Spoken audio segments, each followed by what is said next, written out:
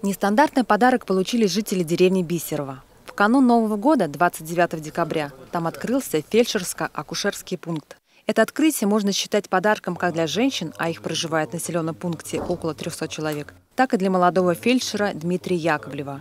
Он приехал в Раменский район из Волгограда. Это уже четвертое открытие нашего ФАПа. У нас огромная сеть ФАПов, всего 35 штук. Это больше, чем у любого другого, а, любой другой больницы Московской области потому что у нас большая территория, соответственно, большое количество ФАПов. Э, значит, этим ФАПом мы э, очередной раз приблизились по программе президента к доступной медицинской помощи.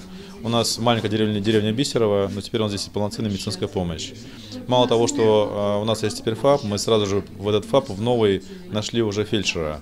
И поэтому можете вам представить Дмитрия Сергеевича, он будет работать здесь, на этом ФАПе, здесь же он будет проживать, у нас ФАП с проживанием.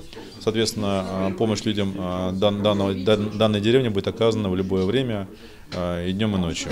В Раменском районе построено около 30 медицинских пунктов. И этот фельдшерско-акушерский пункт, который находится в Бисерово, уже четвертый, открывшийся в 2018 году. Стоит отметить, что он оснащен самым современным оборудованием. Здесь можно получить широкий спектр медицинских услуг. Можно получить первую медицинскую помощь, неотложную медицинскую помощь.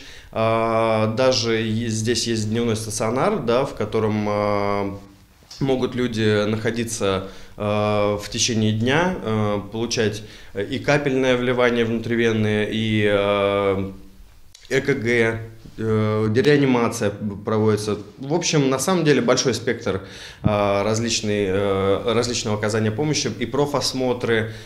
Здесь, в принципе, практически все. Раньше к жителям деревни Бисерова приезжали фельдшеры исключительно по расписанию, только три раза в неделю.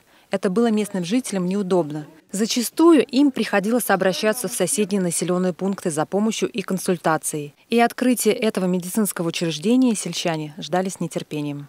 Очень мы рады этому, конечно. Спасибо большое нашей администрации всей, которые, конечно, позаботились. Конечно, все хорошо. Здесь все полностью очень, все очень э, хорошо. кабинет оборудованный для процедур, э, также для взятия анализов.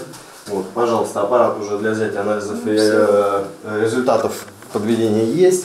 То есть э, различные манипуляции. Вы на нем работать умеете, все полностью да, обученное, соответственно, вы можете самостоятельно здесь взять анализы крови и сразу же его сделать. Все верно. Все отлично. Андрей Пластунов, Алена Иванова, Ольга Захваткина для программы «Городские вести».